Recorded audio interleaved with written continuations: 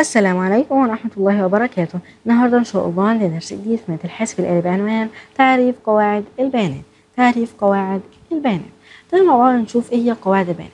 قواعد البيانات ديت هي مجموعة من البيانات والمعلومات بتكون مرتبطة مع بعضها بشكل منظم بتكون داخل جداول أو مجموعة من الجداول.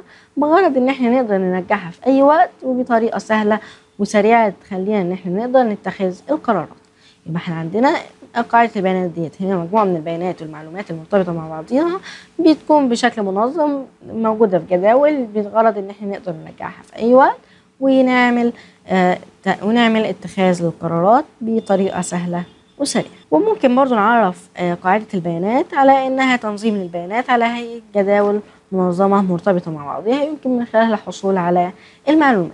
يعني إحنا ممكن برضو نعرف قاعدة البيانات على إنها تكون عبارة عن تنظيم للبيانات على هيئة جداول منظمة بتخلينا إن إحنا نقدر من خلالها الحصول على المعلومات.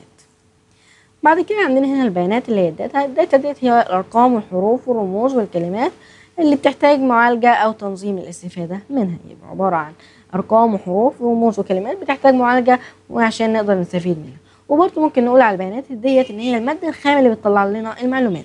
يعني إحنا عندنا بيانات بتقوم بنقوم عاملين لها عملية معالجة فهتقوم جايبة لنا المعلومات. المعلومات ديت هي البيانات اللي بيتم تنظيمها أو معالجتها لتحقيق الاستفادة منها. يبقى إحنا عشان نجيب المعلومات بنجيب بيانات ونعمل لها معالجة فبتطلع لنا المعلومات. يبقى إحنا عرفنا إن المعلومات هي بيانات تم تنظيمها أو معالجتها لتحقيق الاستفادة منها. عندنا هنا أهمية قواعد البيانات.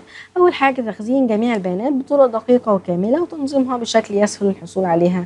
بعد ذلك أول حاجة تخزين جميع البيانات بطريقة دقيقة وكاملة. وتاني حاجة سهولة إجراء التعديلات على هذه البيانات. سهولة إجراء التعديلات على هذه البيانات. وبرضو عندنا تالت حاجة تخزين كم كبير من البيانات التي يصعب على الإنسان تذكر تفاصيلها. بتخزن لنا كم كبير من البيانات اللي بيصعب على الإنسان هو يتذكر تفاصيلها. رابع حاجة يمكن من خلالها تحقيق السرية الكاملة بحيث مش أي حد يقدر إن هو يطلع على هذه البيانات.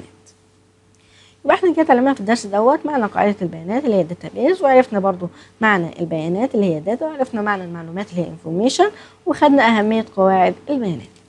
تاني ما نشوف عندنا هنا السؤال اكتب المصطلح الذي تدل عليه العبارات الآتية. هي بيانات تم تنظيمها أو معالجتها لتحقيق الاستفادة منها. طبعا ديت المعلومات لأن البيانات ديت هي المادة الخام للمعلومات. وآخر نقطة ديت أنتوا تحلوها لو تبعتوها لنا تحت الفيديو. وبكده نكون خلصنا درسنا النهارده. قابلكم درس جديد. مع نفهم نتعلم ببساطة.